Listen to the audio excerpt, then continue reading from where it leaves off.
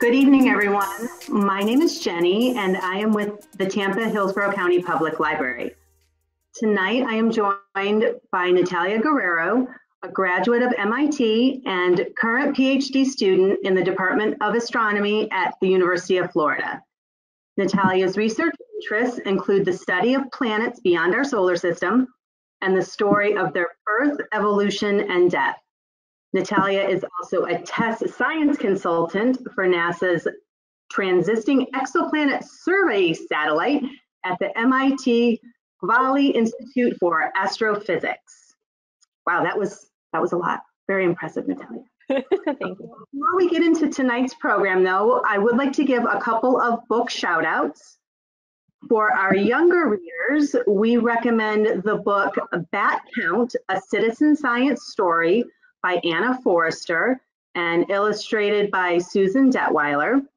And for our more advanced readers, we recommend Citizen Science, How Ordinary People Are Changing the Face of Discovery by Caren Cooper.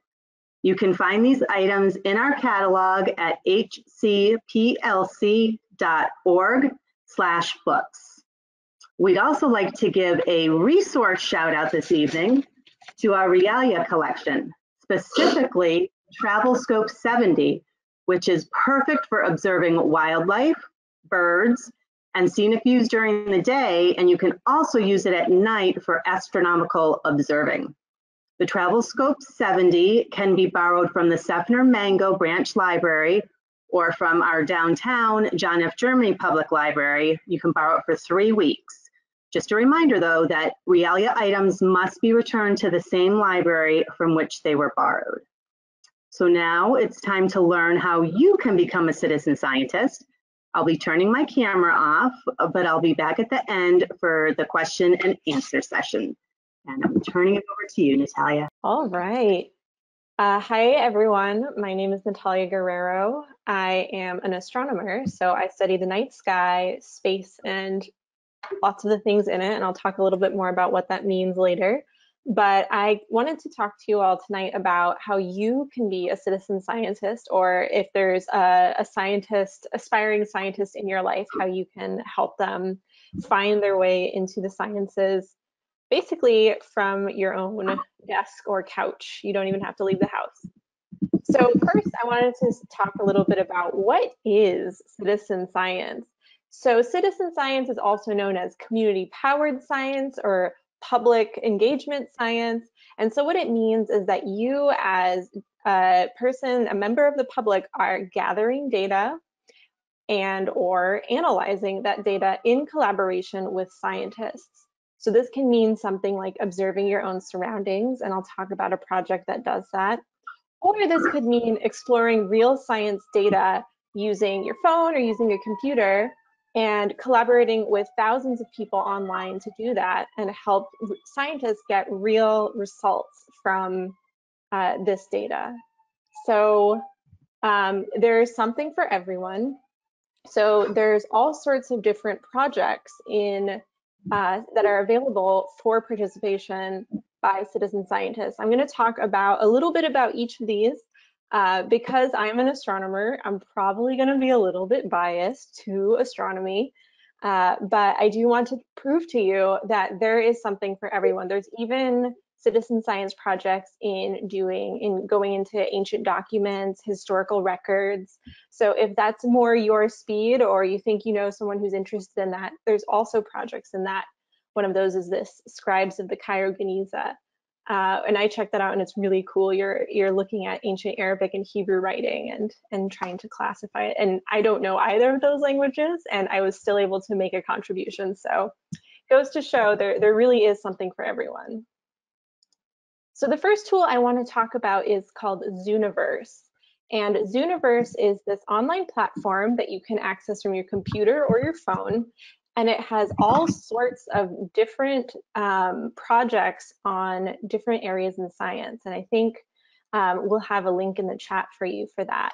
So in this first project, I've brought up a screenshot of what the interface looks like. It's called WildWatch Kenya. And you can probably spot at least one, one wildlife in that image. So um, that's your first challenge, but that's basically what you're doing is you're looking at these images from the um, from a, a wild area, a nature preserve, and you're trying to catalog both wild animals and livestock and trying to understand um, this is a habitat for giraffes. And the people who have taken these pictures are trying to understand what's happening to the giraffe population over time, how is it being impacted by other animals over seasons. And so this is a really valuable contribution to helping with ecology and endangered species. Uh, so that's one example. And this project, as well as the next project I'm going to show you, which is called NASA's NEMONet, both of these, what you're doing is you're labeling images and looking for features in them. And this is in collaboration with supercomputers, which can also be trained to identify images. But first, humans have to label them so we can teach the computers what they're looking for. Because it turns out humans are still much better at identifying images than computers are. So we're still winning the race against the robots. So this next platform is a game you can play on your phone. And I have tested this with my own phone and I can confirm that it's really, really fun.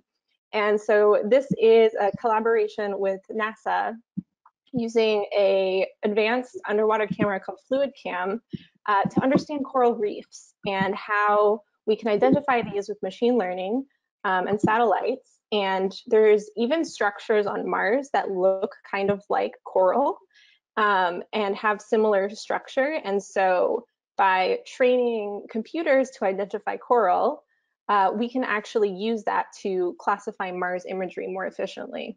So this uh, is really exciting also because you learn to identify different kinds of coral. And if you've ever been to the beach in South Florida um, or to a coral reef or seen one at the aquarium, it's really cool to finally be able to identify i know what that is. I know what that shape is. And it's it's a really exciting thing to do to help understand our oceans.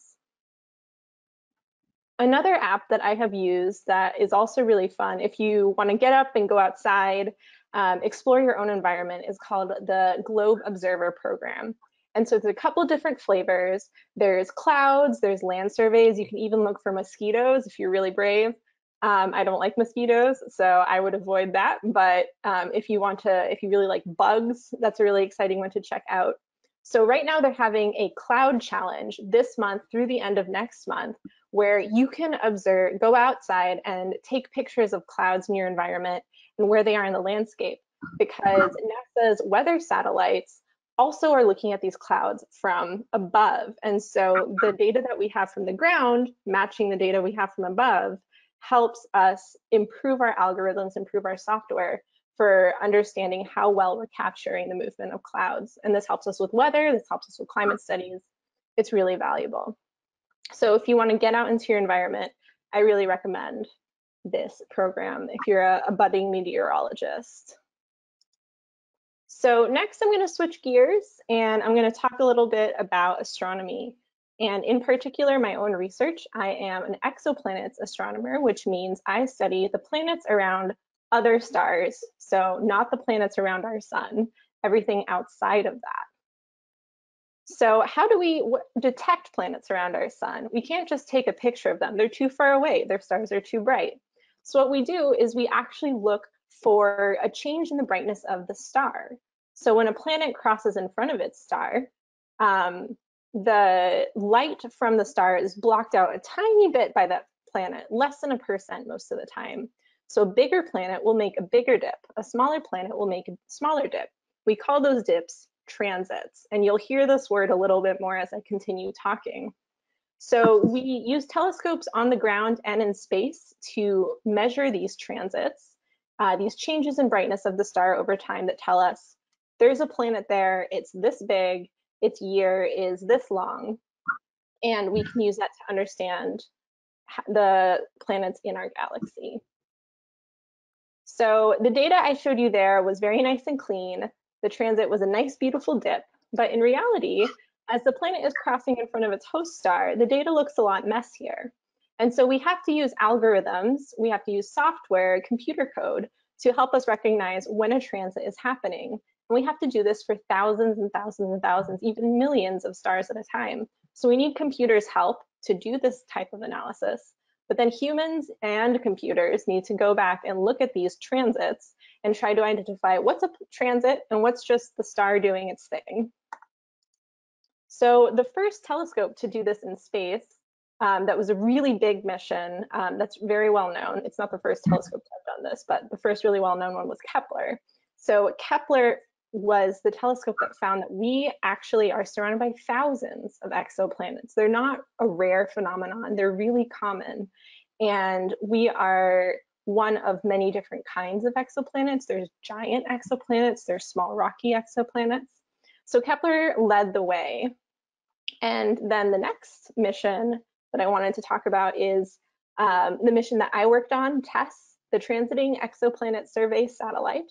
I worked on the cameras for TESS. So the four squares you see here are the outer cones shielding those cameras. So I worked on the cameras and I also worked on the catalog of exoplanets that TESS has found. So we found over 100 so far and we expect to find thousands more. So how can you help with this telescope that's in space, with this data that was taken almost a decade ago? What can you do? Um, you can actually contribute to this as um, a citizen scientist with planethunters.org. So data from the TESS uh, mission is currently being uploaded to this website, and you can classify transits and say, this is a transit, this is not a transit, and actually help discover exoplanets. This is something that I'm going to show you what we have found. And there's quite the track record um, for finding exoplanets with tools like Planet Hunters. Um, and this is also really exciting for opportunity opportunity for astronomers who are new to the field, who are just getting started. This platform for TESS was run completely by a graduate student, a first year graduate student, Nora Eisner.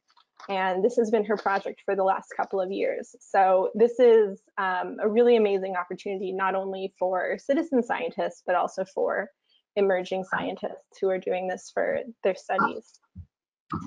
So Kepler, uh, one of the most notorious and most mysterious stars in the universe, was actually discovered by citizen scientists. Known as Tabby star or Boyajian star, this star was uh, published by um, Tabitha Boyajian in 2016. And this star had a really mysterious light curve. The citizen scientists saw all of these transits that didn't look like a planet, they didn't look like two stars, they didn't look like normal star behavior. So they said, what is this? It was this big mystery. So uh, eventually, with additional analysis, uh, we've come to the conclusion maybe these are planetary fragments left over from collisions, maybe these are exocomets, but there's still a lot of mystery here. So right now there's a team of over 50 citizen scientists with telescopes all over the world contributing data to better understand the star that the scientist is leading. She even started a Kickstarter to raise more money to point robotic telescopes at this star. So this is an amazing example of what you can do with community fueled science. Uh, you can understand systems like this really mysterious star. I think I really, I really like this story. It's a good one. Uh, TESS has also used uh, the citizen science discoveries. The first uh, discovery from Planet Hunters TESS was a Saturn-sized exoplanet. Um, the another exciting one was the first circumbinary planet, so a planet that has two suns, kind of like Tatooine in Star Wars. Um, the first one that TESS found was actually found by a high school intern who noticed that the transits from the two stars orbiting each other looked different from this additional transit coming from a planet transiting the two stars. And so in this video, you see the planet transits are in green and the star transits are in red. And a computer wouldn't be able to tell the difference, but by eye, the student was able to do this. And he was a high schooler. So this goes to show this is really something that um, we welcome public contribution to. And this keeps happening. Uh, the latest was published just this month in January a Jupiter-sized exoplanet that was discovered by citizen scientists, um, one of whom was a retired uh, former naval officer. So um, this one was really exciting because again, computers missed it, uh, but this team saw that this planet transited just one time. during the whole observation period with TESS. And so they saw this big deep transit that the algorithm missed and said, hey, we think this is something, and worked with professional scientists and telescope observers and published this Jupiter-sized exoplanet just this month. So if you didn't say, if you thought that that was all that there is for exoplanet citizen science, uh, there is more. Uh, a couple of other, I don't have time to talk about all of the different um, exoplanet projects that are out um, for you to work on. There's a few more, uh, but this is just one more. This is the next generation transit survey, and it's 12 telescopes in Chile that you can see in that little video there. And they are looking for exoplanets as well, nearby, around nearby bright stars. And so you can go onto their platform on Zooniverse, again, uh, Planet Hunters is also on Zooniverse, and look for exoplanet transits and dive into the exciting world of finding new planets. Um, speaking from personal, from experience, uh, one of my collaborators in my current research at the University of Florida, Quadry Chance, um, this is actually how he, part of how he got interested in astronomy was when he was in middle school, he was part of the Planet Patrol Citizen Science Project. Um, I think Planet Hunter Citizen Science Project. And um, as a professional astronomer, he's collaborated with the Planet Patrol Citizen Science Project. And so he has come full circle from citizen scientist now to professional astronomer. So this is really a pathway to entry into astronomy. So to wrap up, um, this is, these are all of the links to all of the projects that I have mentioned in this talk. This is a really good slide to screenshot if you're on your computer um, or on your phone. So I would really recommend getting, grabbing a screen cap of this, but I think also uh, we are dropping all of these links in the chat. Uh, but this is really easy. Right after this talk, you can just open up a browser and log in and get started. So I think I will stop there and we can we can have a conversation. I can take any questions. Thanks. Great, thanks Natalia. Um, real quickly, at the beginning of the broadcast, we had a little bit of um, a technical issue with the sound. So I wanted to make sure that everybody knew that if they had any questions that they wanted to ask Natalia, go ahead and drop those in the chat and I'll relay those to her. Um, so with that, we have someone that is curious to know when they're participating in these citizen science programs, they don't actually need physical equipment, correct? They are like looking at things that have already been collected and trying to, to find patterns or, or something like that? Yes, every project I have talked about here, all you need is your computer or your phone. Um, every there are projects where you can collect water samples or take specimens. Um, I didn't talk about those, but those exist if you once you get your your your groove and you want to try something new. But for all of these, you just need access to the internet. That's great. That's great. Um, and there's programs for all ages, so a family could participate in something together. Definitely. All of these are, are very easy to do and really fun actually to do together. That's neat. Um, do you know if schools have ever participated in one of these citizen science projects and could you do it as a group? I think you could totally do it as a group. A lot of these projects are run by, like I mentioned, like this graduate student or a small team of scientists, and they're always happy to have organized, focused efforts helping out. And so if you have a school group or a homeschool group, like it would be um, speaking as someone who has organized a big classification project, having a big group like that is awesome. And I would strongly encourage reaching out to a project you're interested if that's the case. That's cool. Um, would you explain what transits are again, like in a nutshell? So let's say this is my star and this is my planet and my planet is going around my star. From your point of view, for a short while, the planet crosses in front of the star and the star is emanating a lot of light. And so you may have experienced this when a family member crosses in front of the TV when you're watching it.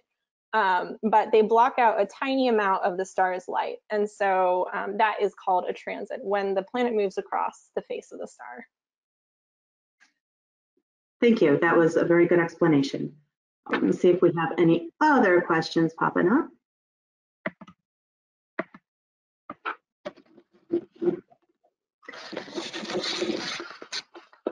So do you know if there are any citizen science projects that study bird migration? I I would say probably. Um, on mm-hmm. Zooniverse, I definitely saw a few that um, study different kinds of birds and using again like um, cameras that are left out in a in a wild habitat um, to take pictures of birds. So those definitely exist. Um, but I would recommend maybe looking up your local chapter of the Audubon Society or looking at the local university to see if um, there's something a little bit more focused. Will do. Let's see. Can you start a citizen science project on your own? Yes.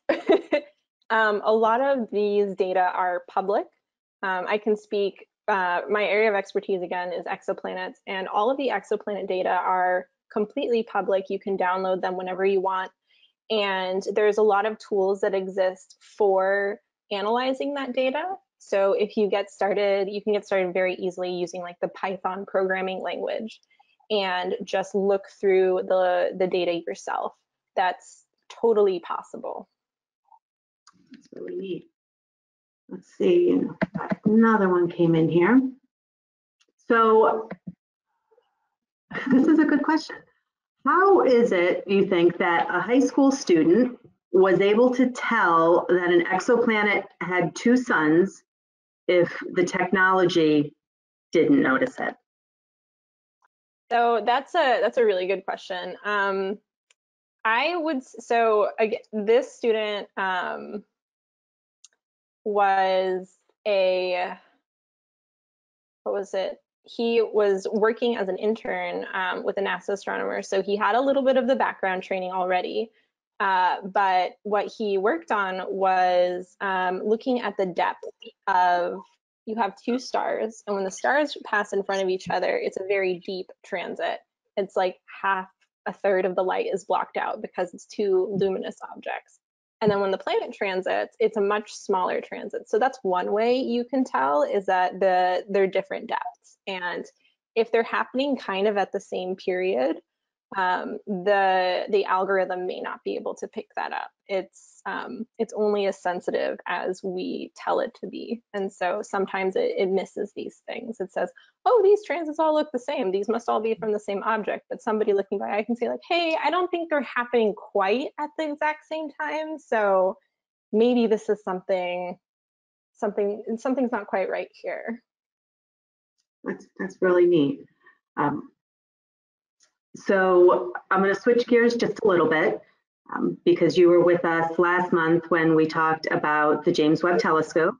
Yes. And I know today that Webb reached its L2 point. Um, yes.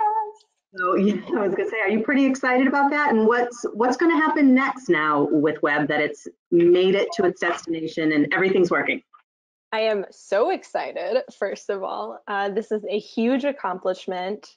There's a giant checklist NASA has of all the things that can go wrong, and none of those things went wrong. So that's amazing. So the next thing that will happen is that the telescope will slowly cool down and get to the temp same temperature as space. And um, it will hopefully start taking its first images very soon. I'm not super clued in on um, the the day-to-day calendar of Webb. I believe if you go to the NASA Webb website, um, you can you can get the the really detailed calendar. Um, but presumably it'll start taking its commissioning data, basically how's the camera doing, how to do after launch. Um, that's generally what telescopes do right after they get to space. That's what TESS did was we had a couple weeks of commissioning where we said, okay, let's try and understand how the telescope and the camera is behaving and compare that to the data we took the last time it was in the lab. Um, and then once you're convinced that your commissioning data matches your lab data, you can say, okay, scientists, let's start with the first project. Let's start looking at um, stars and galaxies and all the things that we are planning to look at.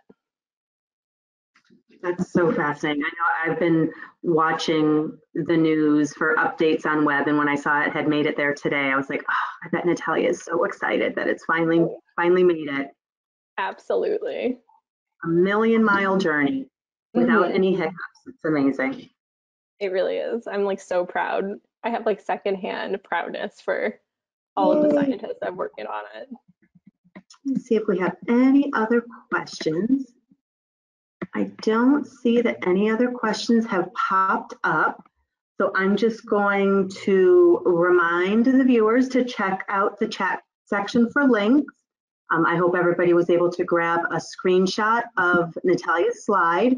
Um, if you weren't able to grab a screenshot, remember that this is a recorded webinar. So once it gets posted to our YouTube channel, you'll be able to watch it and then take a screen capture when it is playing. Um, so Natalia, again, thank you very much for sharing your expertise with us. It was a fascinating program and I know that there's definitely some things that I would like to look at as a citizen scientist and see how I might be able to participate in, in some of these really cool sounding programs. Um, so thank Great. you again for joining us tonight. Thank you for having me. You're welcome. Take care. All right. So everybody, thank you for joining us tonight. If you need to contact the library in any way, you can reach us by phone at 813-273-3652 or hcplc.org slash contact. And we also highly recommend that you explore our upcoming events and classes at hcplc.org slash events. We would also like to know how the library has impacted your life. We'd love to hear your stories. You can submit them to us at hcplc.org slash stories. And that's everything we have for tonight. So everyone have a good evening. Take care. See you later, Natalia.